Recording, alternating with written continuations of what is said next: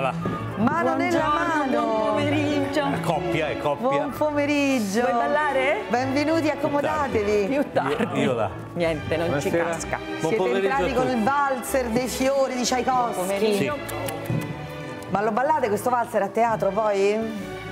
Allora, io lo ballerei, io Vittoria, forse anche Enzo Iacchetti. Eh. E il mio Patrick no, no, lo invito a io ballare, nella che è lui. Come fai a resistere ad un invito a un, ba- un No, da nella- parte di questa nella commedia- ragazza meravigliosa? Beh, Vergogna! insomma, meraviglioso. De- Come insomma? de- nella commedia...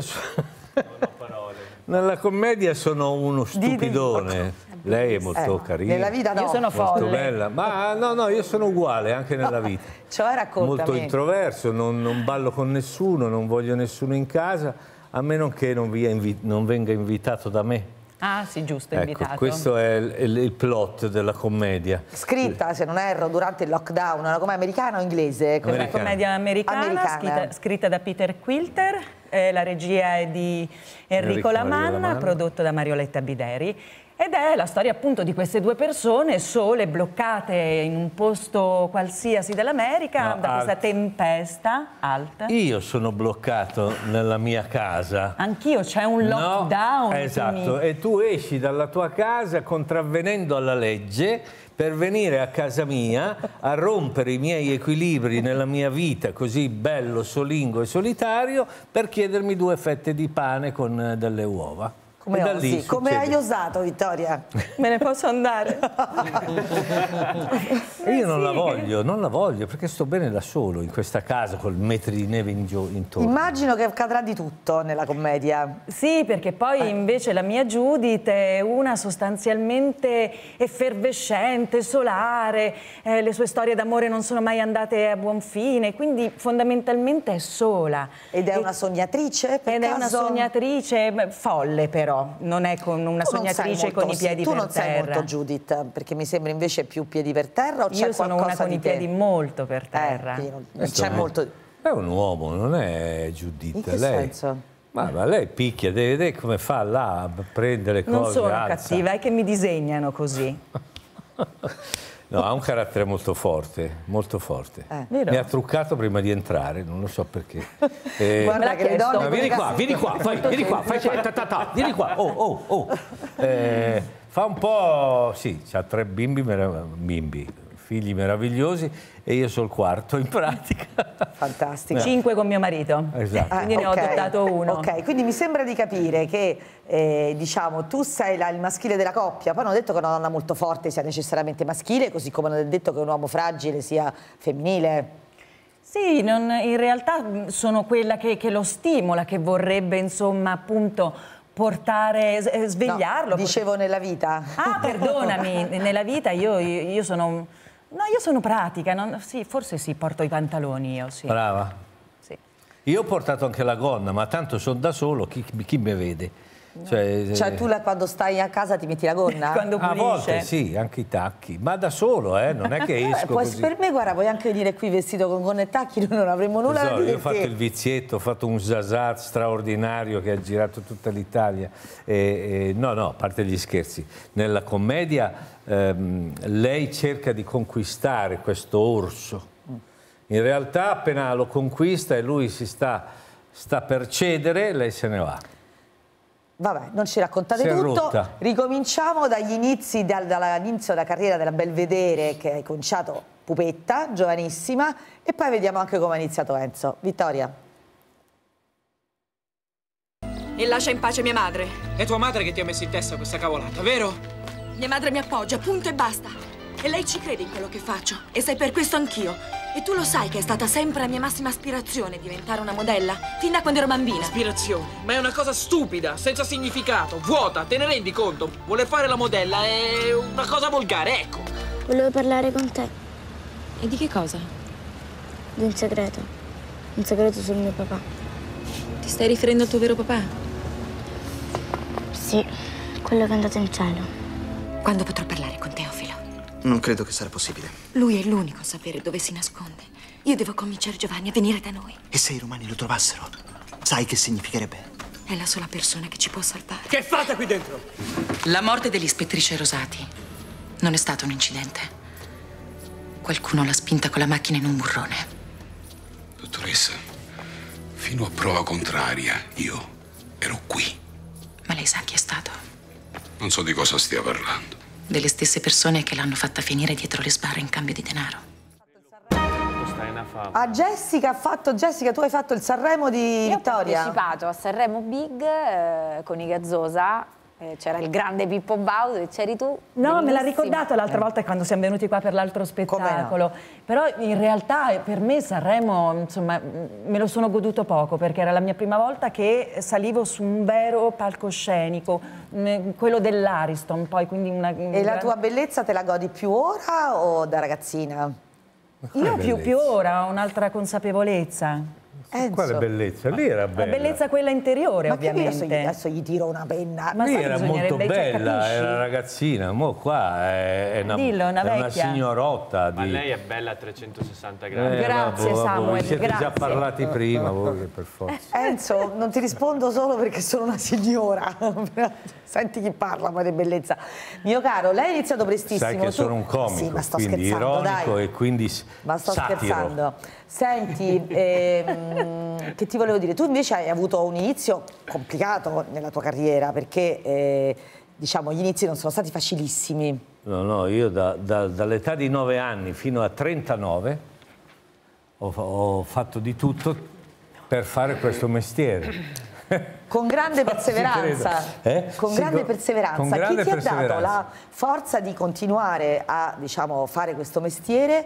Avevi il, il senso di te, cioè tu pensavi che prima o poi ce l'avresti fatta? Sicuro, ero certo, sì, ne ero E certo. chi ti dava questa sicurezza? Eh, me stesso, ma perché scappavo da chiunque mi dicesse fai un'altra cosa. Mi- mi- mio, mio povero papà. papà. compreso. Mm, eh, non voleva, diceva che era un brutto mondo, pieno di qua, di là, di su, di giù, che poi non aveva neanche tutti i torti, e- e- però io dicevo ci sarà anche un mondo, in- un pezzo di quel mondo in cui il tuo ragazzo potrà fare bene comunque, indipendentemente, no? E lui che ti rispondeva? Poi non ha fatto più in tempo perché poverino è morto molto giovane, ma eh, la mamma ne è stata molto fiera fino a qualche anno fa. La mamma è stata sempre con te, so che ti porti Mi sempre la nascondeva sua... le chitarre perché il papà me le rompeva. No, aspetta, scusa. No, me le cioè, rompeva. me- Eh. me le, mh, i- io andavo a fare il ghiaccio per comprare una chitarra. Il ghiaccio, sai quando non c'erano i vagoni del treni Sì. elettrici? Cioè, io face- so, vec- sono vecchio io. eh. So, andavo alla stazione, facevo il ghiaccio, caricavo questi cubi di ghiaccio e quando avevo 25-30 mila lire compravo una chitarra. E la portavo a casa e cominciavo a suonare in giro eh, e poi la chitarra spariva. E spariva, chi l'ha presa, chi l'ha presa, mio papà me la nascondeva perché non voleva che andassi a suonare. E dovevo studiare per lui e poi la mamma me la faceva Ritrovare. scendere dalle scale con la corda. So che tu porti sempre una foto di tua mamma anche in tournée. Sempre, sì, sempre. L'unica foto che porto. Mia mamma è morta più di 90 anni, per me ne ha ancora oggi 27. E mi manca come manca una donna di 27 a un uomo che l'ha sempre amata. insomma. Ho colpito? Hai ritrovato, no, stavo pensando se hai ritrovato nelle, tu- nelle donne della tua vita eh, qualcosa di tua mamma o se l'hai cercata. cercata tante volte, sì. Tante, quelle poche volte l'ho cercata. Adesso no, adesso no, non ho mai trovato le cose di mia mamma. E soprattutto la comprensione, la tenerezza e eh, il perdono. Che cosa ti ha perdonato la mamma? Beh, tutte le mie marachelle ne facevo, insomma, E che cosa non ti hanno perdonato le altre? le mie marachelle le facevo. Gli inizi di Enzo e Rai, vediamo. Terribili.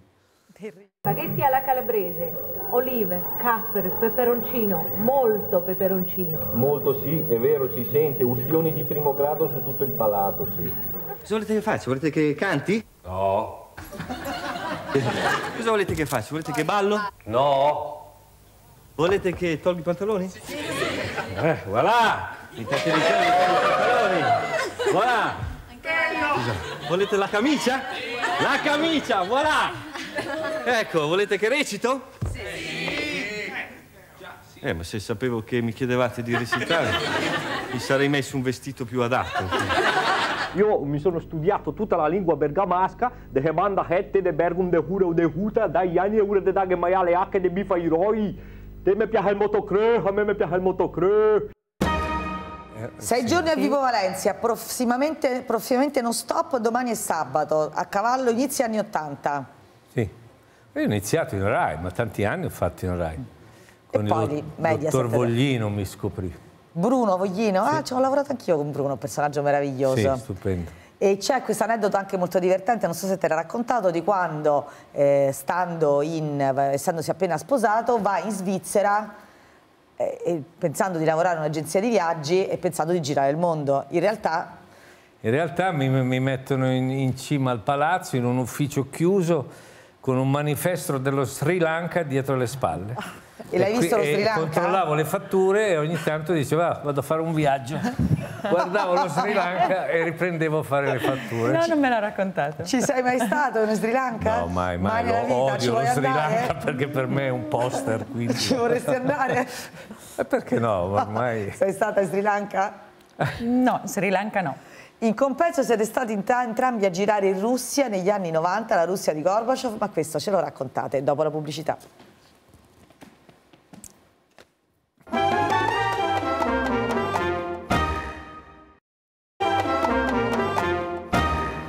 Intanto durante la pubblicità eravamo già alla dichiarazione d'amore perché segnalo che il qui presente Iachetti ha preso la mano della qui presente Belvedere e le ha detto chi disprezza compra, abbiamo capito tutto. No, no, gli ho detto, ti- ho detto qualcosa che ti è spiaciuto, eh, beh, perché è normale, io sono così, butto là le cose e poi mi pento. Eh, no, ma non le buttare, fai prima, no? Non le buttare là. Eh, lo so, ma sono- di le butta per poi, per Sono poi fatto così. Eh, ma l'ho capito io da anni che lo capito. ti Quindi conosco. secondo me in questo ruolo di Patrick imbloccati dalla neve è perfetto. È perfetto, ma sì, quando Ma io ho letto... eh, hai de- hai detto a lui, no, volevo capire in Russia che avete fatto insieme.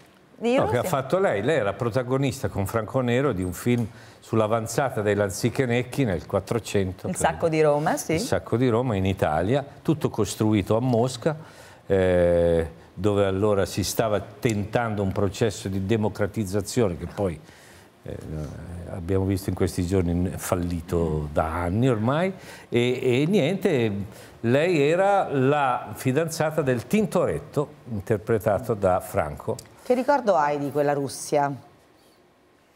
Ehm, m- molto triste me la ricordo perché nonostante si pensasse appunto no, a un qualcosa per, per migliorare la loro situazione, andando in giro allora c'eran- c'erano ancora persone molto povere che si vendevano, incontravi per strada semplice- la semplice forchetta piuttosto che il cucchiaio. Io mi ricordo anche nelle, nei, nei- perché giravamo spesso poi, andavamo spesso a fare delle passeggiate, nei mercati stessi, un sacco di persone che chiedevano l'elemosina, ma il ricordo era anche che lo facevano con dignità, capito?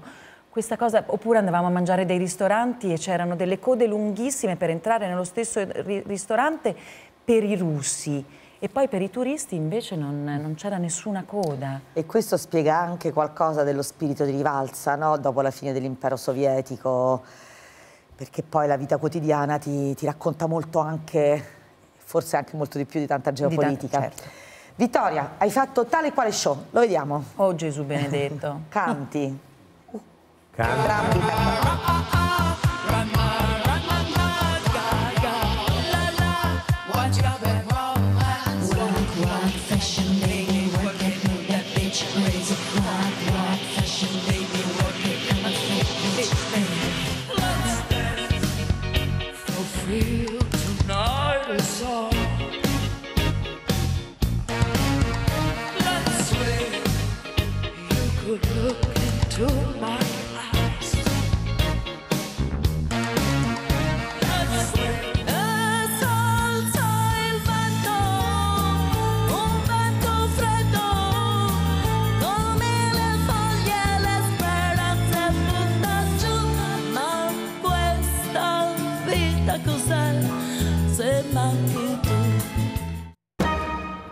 Vittoria, calabrese con tre figli. accento Ebbene sì. nordico. Hai raccontato l'ultima volta che sei venuta, per cui ti puoi definire un'amica di oggi o un altro giorno, che quando, sono, insomma, quando hai visto tuo marito che si dedicava quasi più ai figli di te, un po' ci ci sei rimasta male. È ancora così? No, in realtà con il primo figlio, perché quando è nato Lorenzo, in quegli anni praticamente io sono mi sono sposata. Eh, A giugno e a luglio ho scoperto di essere incinta e dopodiché ovviamente dopo nove mesi ho partorito ma avevo un sacco di se- serie televisive dove dovevo Lavoro, fare il sì. seguito, avevo un film in Francia insieme a Michel Serrault e quindi lui si è occupato principalmente del primo figlio e mi ha sostituito ma a tal punto che qua- quasi come una leonessa difende, difende i propri cuccioli. Quando io tornavo a casa e magari cercavo di riprendermi e di riappropriarmi del mio ruolo, lui ringhiava, cioè mordeva, diceva no, ma non sei capace, no, non vedi, è troppo coperto, fuori fa caldo, no, è troppo nudo, fuori fa freddo.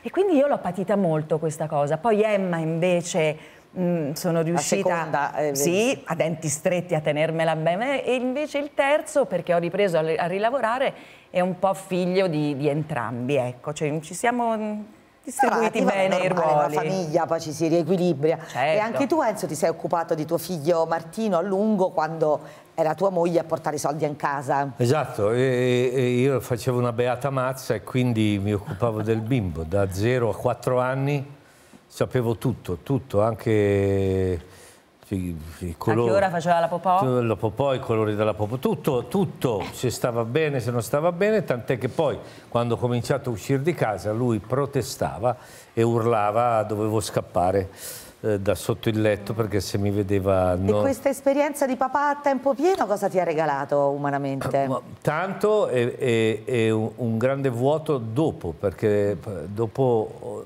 ho potuto vederlo molto poco. D'altra parte il, il- mio sogno si stava realizzando. Certo, quindi il lavoro ti portava via, però questo ci fa anche riflettere, no, Vittoria, sugli stereotipi, no? Cioè, maschio, femmina, può capitare che magari sia la donna a lavorare più dell'uomo e vice- viceversa, però Sì. eh, Martino è cresciuto bene pure col papà, sta anche Martino avendo meno la mamma. splendido ragazzo, Eh, quanti anni ha adesso? 35. La, la nonna l'ha conosciuto ovviamente. Come no? perché le- eh. Eh, ha vissuto tanto vicino perché abitavamo vicini. Come si chiamava la mamma? Maria, il nome più bello del mondo. Come la mia mamma. Maria. Abbiamo anche questo in comune. Ma pensa a te. L'ultima clip di Enzo cantante. Il mio naviglio è un vestito gessato sul quale scorre il mio fiume preferito.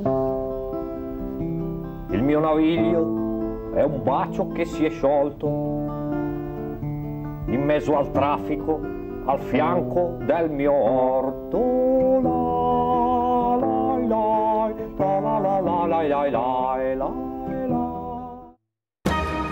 Talento, talento c'era già allora il ma talento. Sai, certo, ma certo, ah, ma infatti noi siamo grati alla tua perseveranza e alla perseveranza di mamma Maria. Grazie. E vogliamo tesoro. bene però anche a papà?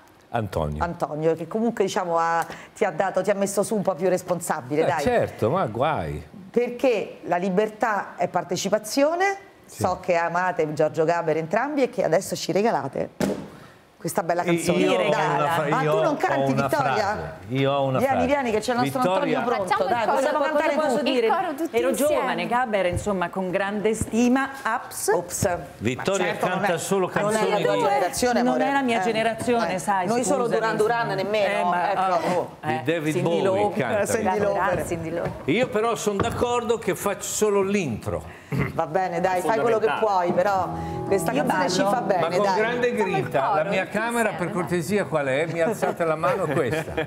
Grazie. Voglio essere libero, libero come un uomo. Voglio essere libero come un uomo. La libertà non è star sopra un albero, non è neanche un gesto, un'invenzione. La libertà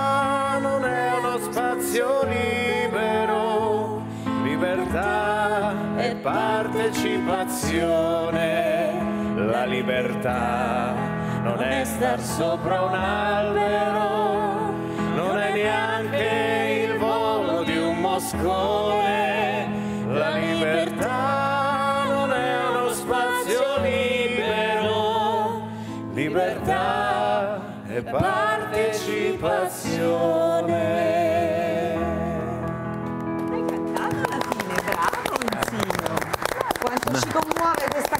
Canzone, grazie Vittoria, Grazie a voi. Enzo, bloccati Grazie. dalla neve in giro per l'Italia. Vi aspettiamo. Assolutamente cercate le tappe in, in tutta, in tutta Italia.